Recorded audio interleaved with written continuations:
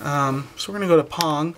I have different levels of difficulty that I can choose from, and that that determines how many balls there's going to be in the game and determines how fast they're going to move and how how good the computer is going to be. So I want to go to hard. I'm not quite ready for Terminator yet. So here we go. So my goal is to just kind of keep these balls from going off on my side. I'm not terribly good at Pong, but we'll see.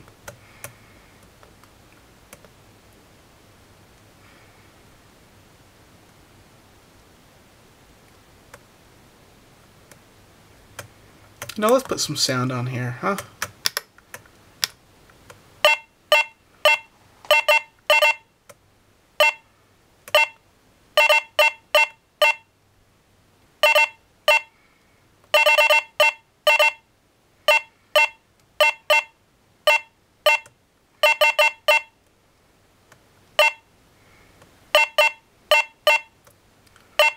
So obviously the computer is trashing me.